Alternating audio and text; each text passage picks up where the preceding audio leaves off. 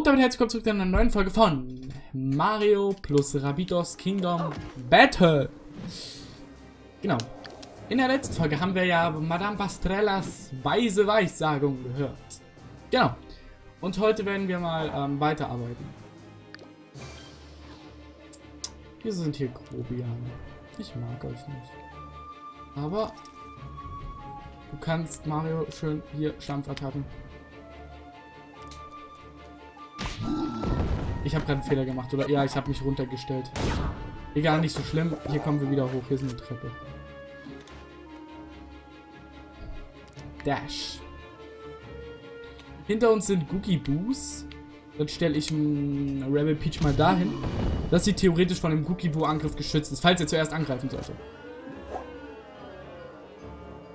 Peach dasht den da. Stellt sich dann aber auch hier hin und feuert hoffentlich auf einen der beiden gleich. Damit, ja. Nee, nee. Hier, Prinzessin im Blick.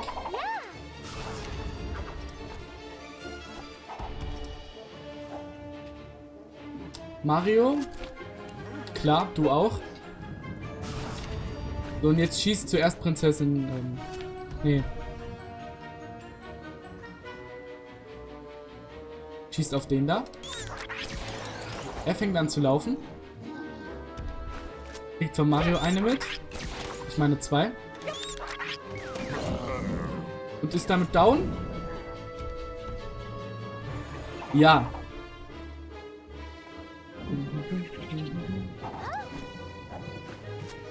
Mario schießt auf den da hinten. Er kommt angelaufen, wird hoffentlich von Peach getroffen. Nein?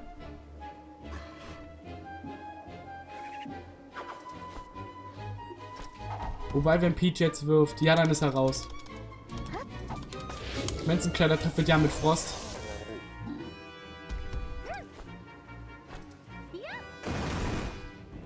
Feuerschaden, perfekt. Und ist raus, gut. In einer Runde zwei Gegner besiegt. Sehr schön. Wir müssen mal die Blase von ähm, Rabbit Peach verstärken. Mmh, aua. Nee, nicht ganz so meins. Aber ich bin ich jetzt nicht so ganz dafür, dass Mario hier Schaden kriegt. Wo ist der Gookie Boo hin? Du bist da. Du bist nicht mehr da. Du bist gleich kaputt. Du bist gleich ganz da oben. In dem Mega-Bug, Leute. Von dem haben wir auch schon länger nichts mehr gehört, gell? Wurde er in der zweiten Welt erwähnt? Ja, am Anfang kurz. Hm, doch, wenn wir ihn jetzt gut treffen. Kriegt dann Stoßschaden, genau, und fliegt weiter in die Offensive.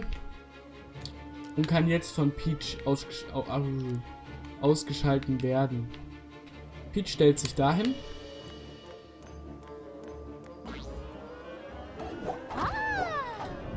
Genau. Und sie trifft ihn und nimmt ihn auch raus. Sehr schön. Das ist schon mal gut. Hm.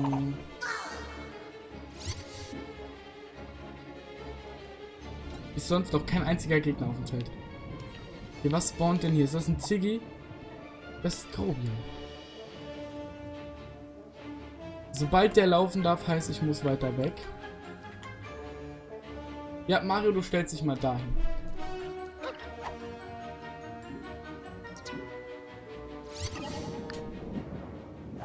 Ach, ein Gookie Boo spawnt da oben auch noch. Ja, okay. Das könnte ein etwas schwerer Kampf werden, weil sehr viele Grobian kommen. Dein blöden Vampir, echt.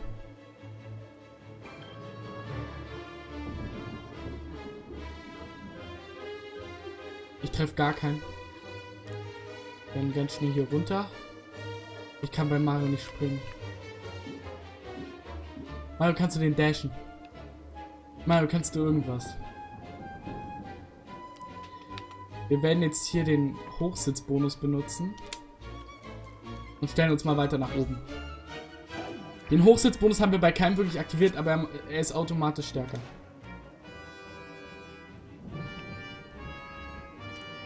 Genau, und Peach, du fährst jetzt noch mit der Bombe irgendwo hin. Ja, zu dem da. Das ist jetzt schlau. Wir schießen jetzt auf den. Er kommt angelaufen. Dadurch wird er automatisch von der Bombe getroffen.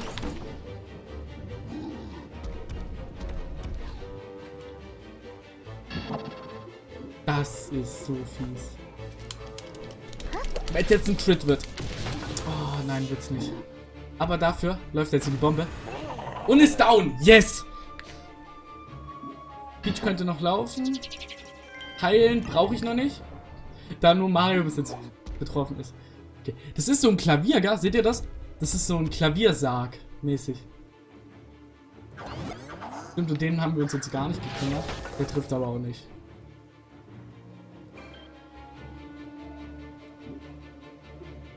Aber wir treffen ihn. Treffen wir ihn? Nein, tun wir nicht, gell? Ähm...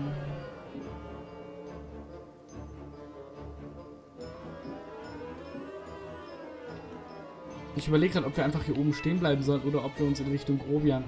Der ist extremst weit weg. Oder wir laufen halt wirklich Richtung Gukibu.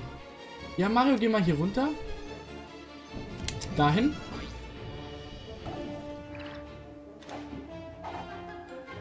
Und Rabbit Peach springt. Wieso treffen wir den von hier nicht? Dann nehmen wir Peach. Peach springt hier hin und trifft ihn zu 100%. Das ist positiv.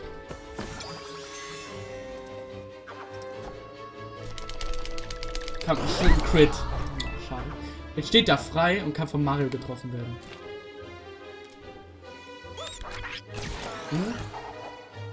Sehr schön.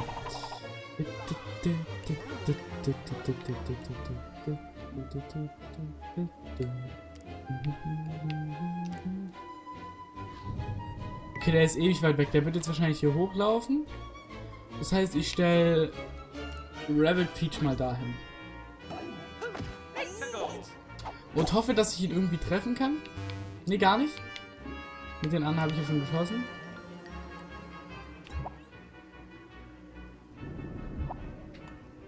Ne, er läuft nicht in den Radius. Also geben wir den Zug ab und lassen ihn ziehen. Okay, es spawnen zwei Gookie-Boos.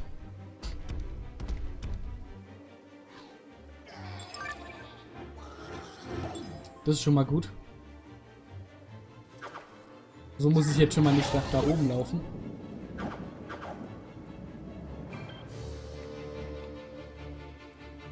Gut, doch, mit dem hier muss ich noch hochlaufen.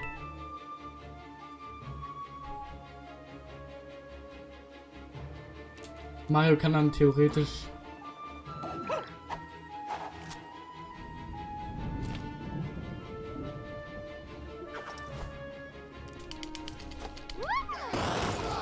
Feuer. Und kann ihn wegdashen, perfekt. Sie kann, kann sie zweimal dashen, sie kann bloß einmal dashen, okay.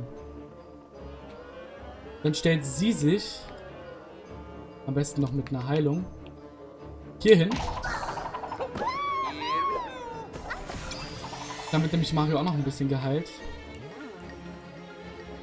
Sie macht den Prinzessin-Blick an.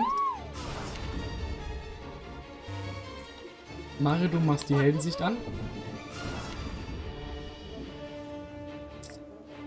Rebel Peach, du kommst hier hoch. Springst aber hier vor. Nicht, nicht dahin. Dahin. Na, auch nach oben. Und du schießt jetzt auf den Grobian.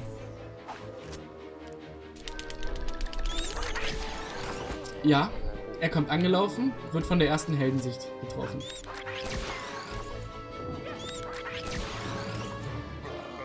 Er ist tot.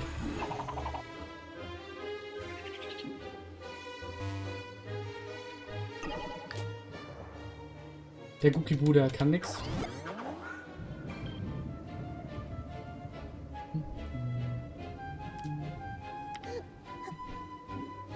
Wir Rabbit Peach hier hinstellen. Kommt Mario da noch hin? Da kommt sogar noch eins weiter. Dann stellen wir Rabbit Peach dahin. Und nehme nicht Peach, sondern Mario. Springt ich hier nach vorne. Jump. Und... Ja, er trifft ihn nicht, klar. Nein, sie springt. Hierhin gibt Mario nochmal eine Heilung mit. Und wirft jetzt ihre Granate. Wieso, Wieso kann Mario den treffen, aber sie nicht? Irgendwas stimmt da nicht bei dem Spiel.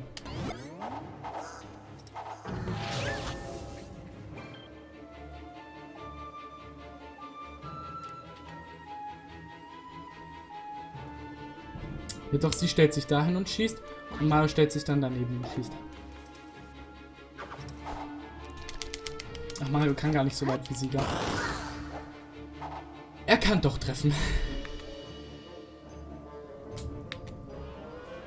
Er stellt sich dann von mir dahin und schießt volle Kanne da rein. Und damit hat, haben wir gewonnen. Mit Don Böschen geschossen. Sehr schön. Hm? Perfekt.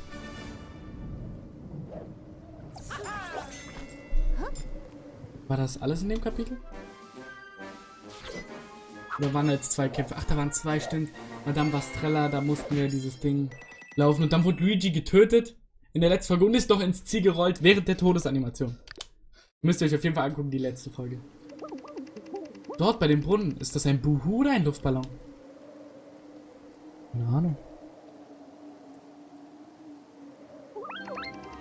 Es sieht aus wie ein Buhu-Ballon. Ballon. Das ist das fehlende Relikt der Güte. Bringen wir zu seinem Sockel. Ich sehe da unten eine Abkürzung durch den Brunnen. Durch den Brunnen. Für mich sieht das aus wie eine Hintertür, aber okay.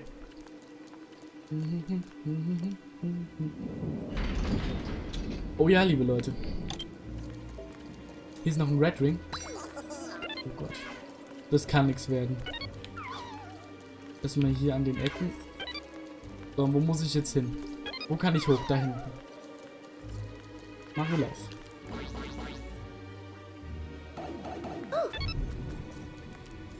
Habe ich da eine? Ich habe eine vergessen.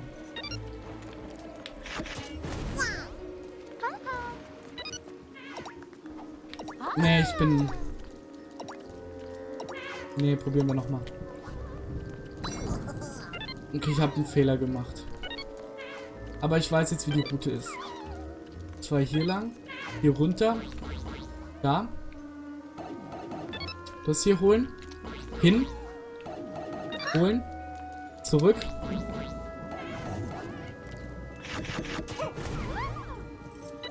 Eins. Und zwei. Boah. Und eine neue Waffe. Ich hoffe für jemand Guten diesmal. Bitte für Mario oder so. Nicht wieder für Rabbit Luigi, den wir nie benutzen.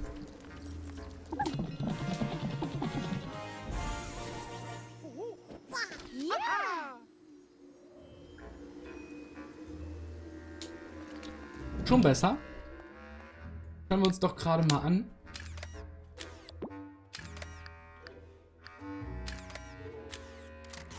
Ist stärker gegen Gehilfen. Ist gekauft. Solange es nicht allzu teuer ist. Bomben hast du keine stärkeren? Peach hat was Neues. Also das, ist da, das ist da hinten. Peach bräuchte auch mal wieder ein paar Upgrades. Aber ja, das ergibt sich schon noch. Wir haben jetzt erst die Hälfte erreicht.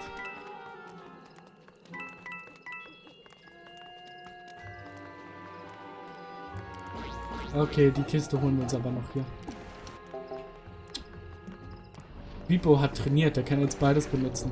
Er kann schieben und äh, eine Statue tragen. Beziehungsweise etwas tragen. Was haben wir hier? Eine Tarotkarte. Unglücksrad. Leute, wir schauen uns das alles an, was wir gesammelt haben im letzten Part. Ich werde hier keine 100% über das Spiel machen, vergesst es. Viel zu viel.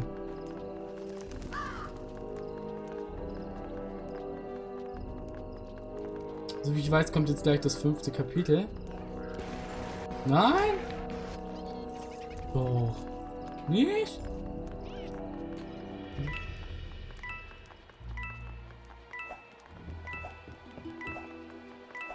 Okay.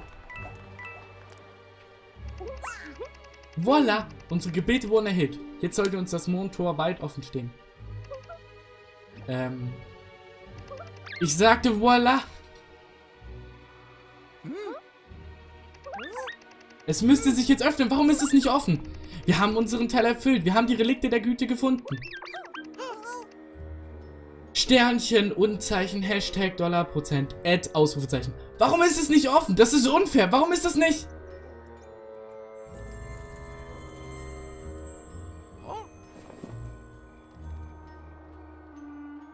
Es öffnet etwas anderes. Ein mit Ranken bewuchertes Tor. Wieder eine richtig schöne Kamerafahrt, auch wenn sie eigentlich relativ nur geradeaus geht. Klasse, das ist das falsche Tor. Vielleicht gibt es eine Hotline, die wir anrufen können oder so. Aha, unser anonymer Gönner hat wieder genau im richtigen Moment gewählt, um uns die Helfende zu helfen. Ihr Trottel, vermutlich fühlt ihr euch jetzt ziemlich enttäuscht. Das kann ich gut verstehen, ich, das wäre ich an eurer Stelle auch. Das Mondtor kann nur bei Vollmond geöffnet werden, ist doch klar. Zu schade, dass der gerade erst vorbei ist.